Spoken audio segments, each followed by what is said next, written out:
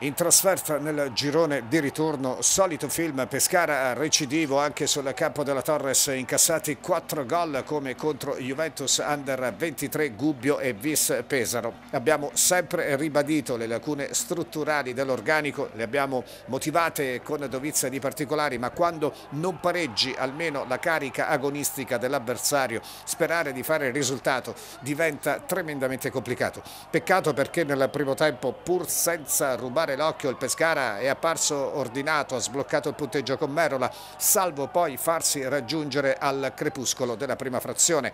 In sintesi il Pescara si è fatto del male da solo e la Torres ne ha approfittato con estremo cinismo.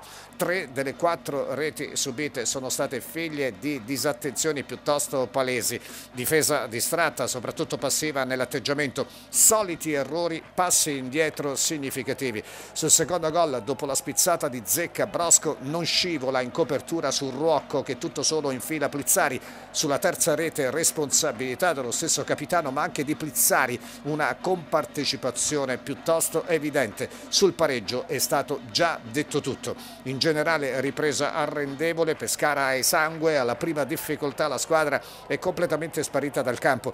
Perdere così senza un minimo di reazione è inaccettabile, ma la mancanza di carattere semmai è una conseguenza sicurezza non può essere mai la causa. I concetti basilari della difesa sembrano infatti sconosciuti.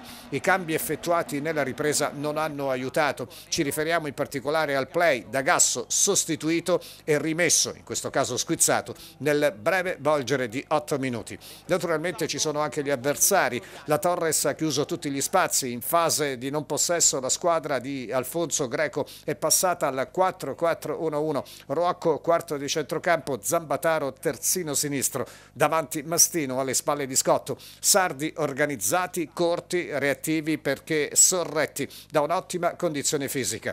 E poi il gap evidente anche sotto il profilo della struttura fisica di squadra. E qui torniamo alle criticità della rosa. E già perché quelle sin dall'inizio ci sono sempre state. Infine uno sguardo ai numeri. 8 punti in meno rispetto alle prime 10 giornate di campionato. Nelle ultime 5, 4 sconfitte, un solo solo successo, appena 3 gol fatti addirittura 14 incassati.